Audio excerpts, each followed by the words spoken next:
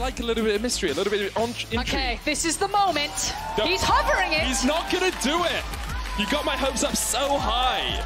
They're like, uh, they're- he's look at his face. He's trolling us as hard as he can right now. Oh come on! Hit it! Yes! Oh, I'm so happy. Okay, and this is good because I've done my Soraka top research. So we are gonna really dive into the nitty gritty of this. I'm so happy for us. Really build up a slow push here and have a big crash onto Cabochard's uh, tower. And you can see that he's already really starting to chunk him out. Now, reminder that the Star Call will crash down faster the closer that Soraka is. So uh, Wunder's doing a good job kind of like sniping out Cabochard with a lot of these Qs, but if someone does manage to rush forward, get on top of Soraka, she actually uh, pushing or priority and kind of why you would do that. So this is a slow push into a crash. So he is crashing uh, two waves that have been stacked together, and this can uh, be useful because you can either get a cheater recall, like if Wunder wanted to, he could back and then walk back into lane, not expend a teleport, or you can really hard punish, either through a dive or continuous poke. And is able to walk to safety. But it's just constant harass, constant poke from Perkz. The Culling coming out even. Saken ignited, has to flash away. And doing maneuvers like that. Getting the wave frozen in front of his tower, Saken has to walk up, overextend, oh, and get smashed. First blood to the first blood king. Jankos sinks in the fangs. Mikyx was there. Rinse and repeat. They're looking for a fight up towards the top lane as Cabochard maybe caught out. He's going to use the steering charge to get away. Jankos still on the chase, not going to do too much as they just push out the wave. Caps Got ignited here. There's a lot of damage coming down. Cop! Dawning Shadow was flashed away there by Caps. Meanwhile, in the top lane. Call of the Forge God on Wunder, but do they know that Jankos has stayed around? Wunder ignited, Skeanz coming in, Wunder's down. Jankos trying to get something out of this, but this might be two quick kills to Vitality. Smite from Skeanz. Going for the dive underneath the tower. Great repel by Jankos, and Cabo will not tank that any longer. Cabochard doesn't have the flash. Taking another look at what happened there. Let's see how long she's CC'd for. So she's up in the air stunned. Uh, he just held on to it for a long time. He did have an opportunity to flash away, but got outplayed. Maybe thinking that Jankos could react, and if you flash, maybe they back away, so...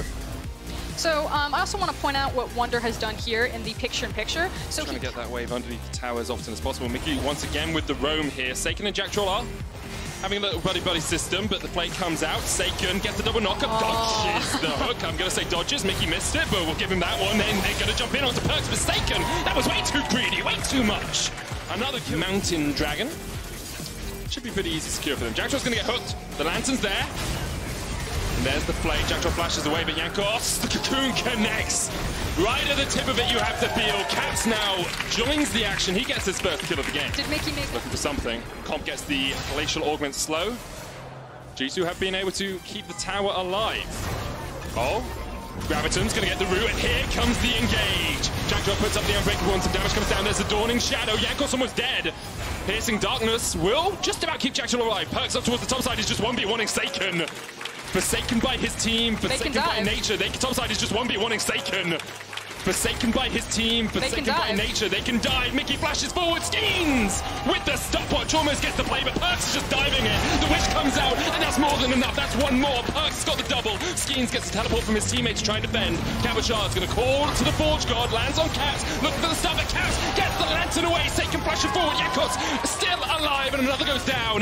Now it's all Skeanz underneath the tower. Mikyx takes it up, and Perkz flashes for his second double of the fight. And I think top side of the map. You have another look at that fight fight because it drew on for a long time. Really cool setup from Caps to use the ultimate to, uh, what, get the purple lockdown. Yep.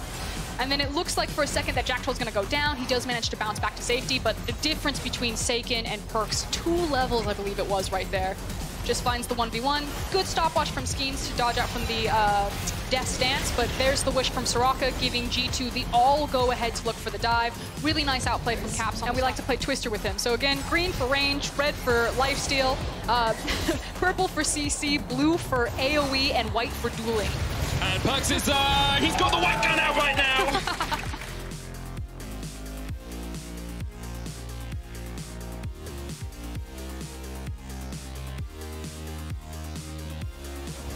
Minions! He did it. Riptail's going to charge in again. G2 trying to crack through the inhibitor line. Here comes the call of the Forge God. Perkz already used the dash away, has the flash. Here comes Jactroll, gets the double knock Vitality maybe find that fight. But there's another great hook from Mikyx. and G2 just turn it right on its head. There's the root, hits all three. Mikyx hooks a minion. I still haven't forgiven him.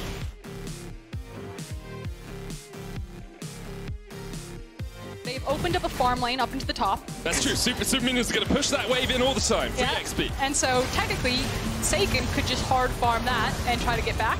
Take another look at this one. Wunder flashes, doesn't get hit by uh, Call the Forge God, and also flashes out of Cabochard CC. That's very nice. There's the first hit from um, first hook from Mikyx. Caps setting up a great ultimate, and the second, yes, that minion right there. That minion is a hero. That makes sense. I've been watching uh, Dracula on Netflix recently. All perks. Steps very far forward. Mikyx. Mikyx's got the hook. Saken, this is your moment. Saken has the flank. They're going to Perkz. Dawning Shadow coming out as well. Maybe Saken's going to be able to kill, but Perkz just heals up through all of it.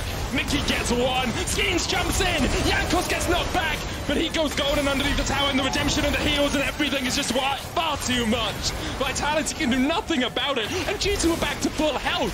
This is unfair. Yes, Soraka is very unfair. Look at that, he just... Caps goes from 1 HP to all his HP in like half a second. It's the Jugger perks As a medic, I think I should be happy about this, but I don't enjoy watching it. I don't know, it's super fun. Look at how confident Perkz is to step forward. Uh, that's true. It's like the old, yeah, the Juggernaut comps of old, as you say. Cabochard hooked up, pops the exhaust. That's not going to do too much for you. G2, 22 and a half minutes, and they've already taken down the Nexus Tower. The second will be short to follow after they have got that blood for the blood god that you were talking about. Perkz still on the front line. The hook from Mickey misses once again. Perkz dodges to the side. Jankos dodges forward. Perkz doesn't even need Soraka heals. He's got the Blade of the Ruin King to heal himself up. And now the minions will do the work. Caps with the Gravitum, Cop with the hook, Jankos with the kill. And this was this was destructive. This was devastating. This was G2 at their finest as they take down Vitality.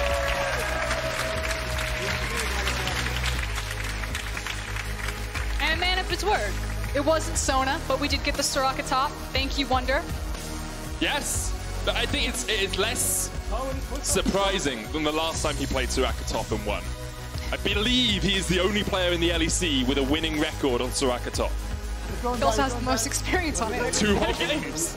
Two whole games. The dark technology needed to take them perhaps to more than a 0-3 in the World Finals. Of course, commiserations to Vitality was not an easy game to play, but whenever you play against G2, I think you have to count it as a learning experience. Yeah, it's the measuring stick. You Yeah. know, you're just going to see how tall you stand on that day.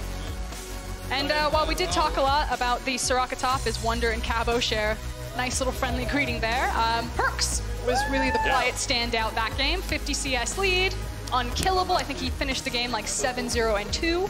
Hard flexing on people. Back in the mid lane, yo, key player of the game.